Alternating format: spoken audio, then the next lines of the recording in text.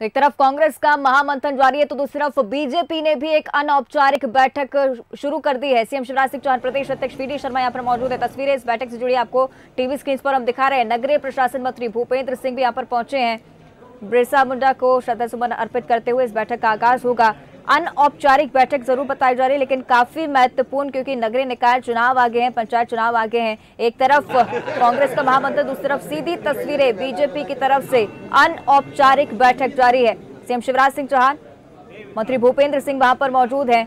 कई मुद्दों पर चर्चा इस बैठक में हो सकती है, क्योंकि नगरीय निकाय चुनाव को लेकर भी चर्चा होनी है। एक तरफ़ कांग्रेस का महामंथन जारी है, वहाँ भी प्रत्याशियों के नामों को लेकर चर्चा हो रही है। इधर बीजेपी में बैठक जारी है। इस पर हम और अधिक जानकारी ले लेते हैं। एग्जीक्यूटिव एडिटर हमारे मनोज सैनी जी फ़ोन लाइन पर जुड़ रहे हैं। मनोज जी, क्या कुछ मायने इस बैठक के अनौपचारिक बैठक बुलाई गई बीजेपी की तरफ़ से?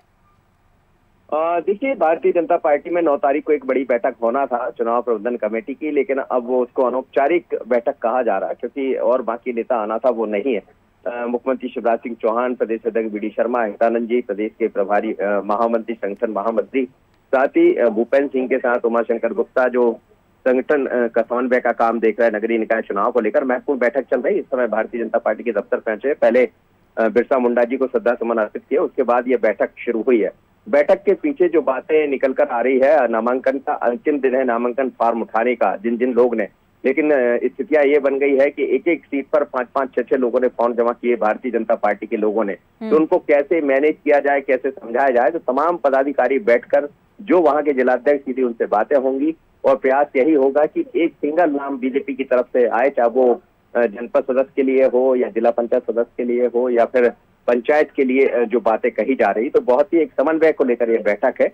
और इस बैठक में नगरीय निकाय चुनाव को लेकर भी चर्चा होने जा चलिए, नगरीय निकाय चुनाव पर इस बार फोकस रहने वाला है। शुक्रिया आपका मनोज इस जानकारी के लिए। अनौपचारिक बैठक बीजेपी की तरफ़ से। सीएम शिवराज सिंह चौहान, प्रदेश अध्यक्ष वी शर्मा, बीजेपी दफ्तर पहुँचे। नगरीय प्रशासन मंत्री भूपेंद्र सिंह भी मौजूद है। बताया ये जा रहा है की नगरीय निकाय चुनाव को लेकर चर्चा होगी। कई ऐसी सीटें जहाँ पर चार पाँच आवेदन दिए जा चुके हैं। इस स्थिति में पार्टी किस रास्ते को अपनाती है? इस बैठक में इसी मुद्दे को लेकर चर्चा होगी।